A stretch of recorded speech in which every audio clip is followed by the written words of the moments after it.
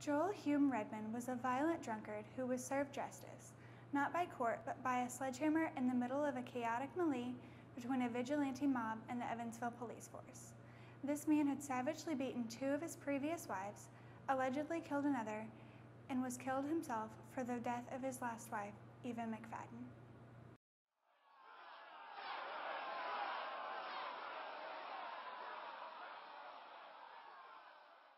Hume Redman sat in his jail cell, listening to the shouts for blood outside of the Evansville Vanderburgh County Jail. The crowd from Posey County was growing, seeking to take the law into their own hands. They had had enough of Redman. They decided it was time to take his life.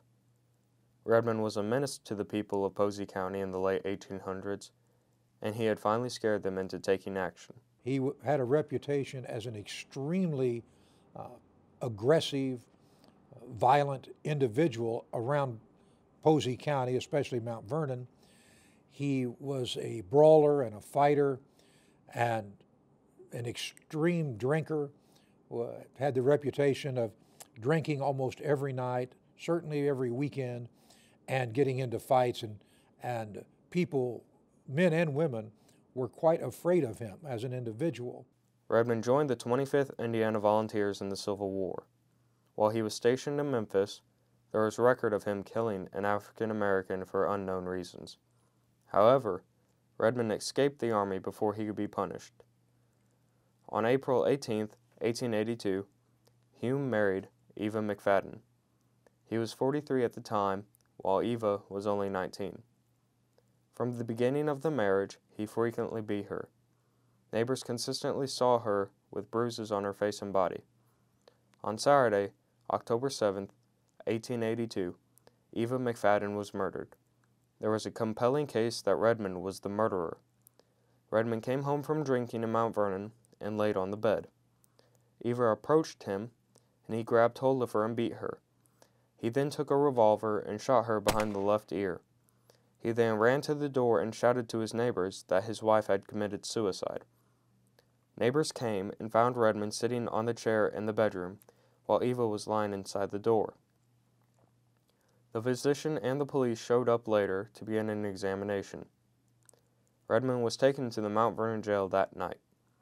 A mob gathered supplies to break down the wall of the jail cell. Due to lack of mob leadership, the mob dissipated. Redman was afraid, however, and gave everything he had to his remaining 14 year old son. The marshal decided that Hume couldn't stay another night in Mount Vernon and secretly moved him on a train depot to Evansville. The secret was not well kept as a Posey County mob moved towards Evansville. A group of 75 horsemen rode out and arrived sometime around midnight on October 11th. By 2:30 a.m., the men reached the courthouse and jail. The sheriff wouldn't let the mob in, so they broke down the door with sledgehammers that were carried in the buggy. The mob then overpowered the sheriffs and deputies and arrived at Hume's jail cell. Hume was rushed out the door with his hands bound. The leaders of the mob shouted the infamous cry, Boys, we've got him. The mob then began working their way back to Mount Vernon with Redman, but the Evansville police were in hot pursuit. The fire department's chemical engine collided with the buggy Redman was held in at the intersection of Main Street and 3rd Street, and the occupants were spilled on the ground. Seeing as there was no hope of keeping Hume escaping, Hume was put to death with a sledgehammer blow to the head. Hume was taken into the hall of the courthouse along with another body, which was later identified as Daniel Murphy.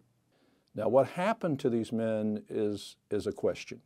Uh, we do not have the Vanderburgh County criminal court records for that period of time. So we can't go to the primary source to see exactly what happened. We have to rely on what was said in the newspapers. In December, there was an article that said the trial will be set for January 17th. Uh, I've read the papers for January and actually for the next six months and never saw another reference to what happened with these people. Um, I don't know for sure, but I suspect it just sort of died away. Uh, I suspect there was less interest in pursuing this as time went on. Then I also suspect that the prosecutor was going to have a very difficult time of coming up with evidence to convict these people, uh, especially without the cooperation and the testimony of the people who were part of the mob, and that wasn't going to happen. So I think, as far as I know, the whole thing sort of died away. I, I think an interesting comment came from a minister uh, the following Sunday, where he said something to the effect that uh, uh, Redman was a fester on the body politic, but the actions was a stab to the heart of society.